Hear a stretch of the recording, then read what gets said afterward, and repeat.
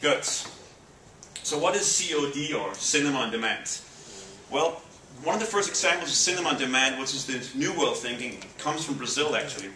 And Brazil is this huge, massive country, 180 million people, and it's very big geographically speaking, and the roads are not so good, and things do tend to get lost here and there on, on the way that from one place to another. So a group of, um, of different, uh, a company came together, all the different, there's 98% of the independent theater owners in Brazil built this fiber optic network so they can uh, share information to each other. And there's a company out there called Rain Networks, or MovieMobz, some of you might have heard of it, but they're really the first to understand this. And what they do is like, if they get a digital file of the film, then they put, put it on their website. And, and that website will now go social media wise so people can access that. And let's say Raul in Rio wants to see the celebration by Thomas Vinterberg from 96. Then he goes into this website, I would like to see the celebration. Does anybody out there want to watch it with me? And somebody will say, yes, I would like to, another person. Then slowly through social media, people start going, you know what, let's do this, this is great. So when they reach a critical mass of 20, 25, I don't know what, I don't know what the exact number is, but let's just say it's 20, 25 people. They start using their credit cards, and um, they say, when should we watch this? Oh, let's watch it at this theater next Thursday at 7 o'clock. So now they book this theater next Thursday at 7 o'clock. And this theater knows now that people are coming, so they start downloading the film, they download the poster, they print the poster, they put it out in the foyer, and then they pay the rights holder, sales agent, or the producer, if the producer didn't deal with them directly, 500 euros.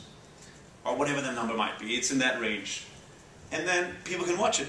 And this, compared to the old model, where the producer was the, was the last person to get paid, we switched around. And because it's on demand, and because the cheap expenses of distributing through the internet and through the pipelines, we will actually get, be the first person to get paid. And it's an on-demand, so it's, it's good for films that might not, I mean, of course, the studio world, the Batmans and the Supermans and the Spider-Man films out there, they, of course, will, will still go to all the theaters, but for a smaller film, this is a great way to get out there, to get out to these small theaters and try to get placed. There's different companies working on a model now on the B-side in the States, and several European companies, trying to look into this, how we can connect all these theaters, because they're all digital cinemas now, so we don't need the prints anymore. Good. Um, uh, there's a little bit about Rain Brazil. Um, another good example of what's going on right now in the world. If some of you have heard about this, this film called Paranormal Activity, it's opened huge in the States.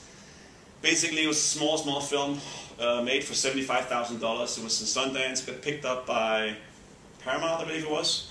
And um, uh, they didn't want to do anything about, about it, but the director wanted to say, let's try and go through social media, see if people want to ask to get it. And through social media campaign, this website called Eventful is actually a place where you go in, you put something up, and if you like some music band, you can say, I demand it to come to my city, or I want this film to come, or whatever. It's a way to, to see how many interest there is in certain cities. And Paramount said, okay, if you reach a million users or whatever, we'll sure, we'll set the film out. So the first weekend, it opened 100 screens and, the, and became number two the, on the US box office. And, and this weekend, which is the last weekend here, it's out on a thousand screens just by popular demand. But suddenly we go, suddenly we go and ask the fans first if they want something, as opposed to just throwing it out there, throw a lot of marketing after it, and hoping somebody will show up. And it's the new model of um, of, uh, of uh, pulling instead of pushing. All right, I want to show a different example um, of something that's happening right now. It's a different way of to understand the cinema on demand thing. Let me see if I can find my Next thing here, Robbie Williams. Everybody familiar with him? See, I need to make it smaller because it messed up my settings. there you go.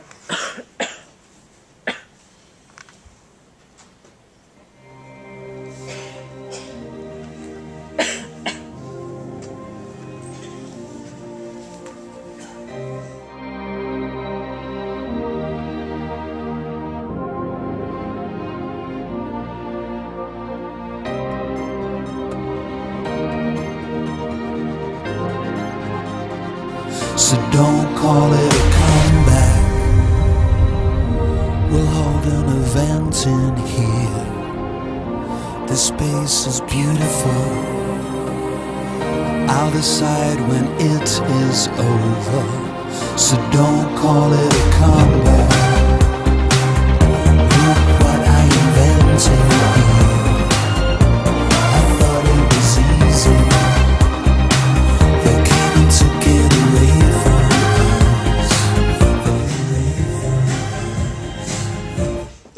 Turn into a Robbie Williams concert. I want to point out tonight that he's, he's performing one concert and they're putting it out in select theaters around Europe, that one performance. And that's one of the key aspects of, of trying, we can learn from the music industry, is to make something like an event. The problem is, what we've been teaching the consumers for the last 10, 15, 20 years is that there's no immediate rush to go see a film. They can just, if they don't see the first weekend, they can see the second weekend. If it's not there, they'll wait. They'll come on pay TV, then it'll come to DVD, and they just wait there, and the prices will go more and more down. Then they can wait, it'll come on free TV. There's no incentive for a normal consumer to rush in and watch that latest European film. But we, have, we haven't thought about making it an event. By doing what he's doing, by having this where we ask the people first, it, it's easier. We can reach the fans and we can get better out and we can spend our marketing money a lot better that way by making it on demand. It's just the, the usual model of shipping 100 prints and just hoping for the best and everything will work out. Does that make sense? Are you all awake or are you dead asleep? Good. I mean, not good if you're asleep, but uh, um, all right. so, just to understand the old world, and again, this is one, two years ago, it's very old. The old world consisted of a trailer, a billboard, TV spots, and so forth. Put a lot of money up and hoping somebody will show up. The new world is a viral world, meaning that you create something on social media, whether it's YouTube or Facebook or whatever it is, and it spreads around. People start sharing it with one another if they're interested in one subject.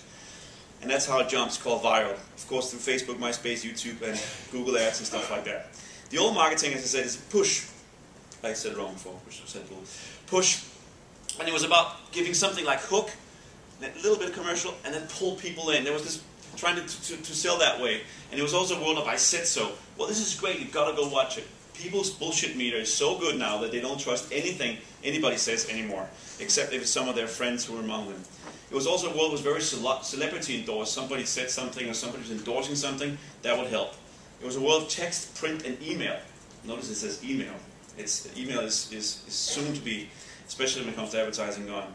And it was all community-based by something being going on in London or something going on in Munich. Today it's a new world of pulling.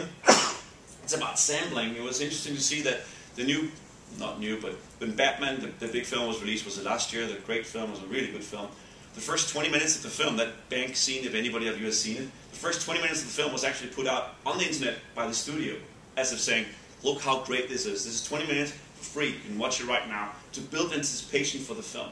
We're so, to think, we're so used to thinking 90 seconds or 60 seconds or two minutes. No, no. Go out there, show it. Show as much as possible. Of course, not the whole film, then nobody will show up. By proving that it's actually really good by showing how good it is. So we've got to come away from that. And that's what I mean by proving instead of saying, oh, it's great, go see it. No, no, prove it. Everyday spokesperson, if you go in and you check something out on eBay, on Amazon, or Facebook, or whatever it is, always people recommending, pointing out, giving stars. And people trust that much better than they trust advertising, as I said in that video I showed earlier. Everything is turning into video today. Video, video, video is going to be key when it comes to showing and proving. I mean, if I was a producer today, and somebody liked my film, I would be standing outside the theater when people come out and get their media reaction and just interview all these people and post the same night and build up this awareness by, by people talking to the camera because people trust somebody who's normal as opposed to some um, great critic out there. And by the way, all the critics are going to be out of their job soon because the newspaper are closing, so that's bad as well. um, and it's about connections. It's about how many followers do you have on Twitter. It's about how many people do you have on Facebook? It's about sharing information through that, that connection instead of the community base because it's all online now.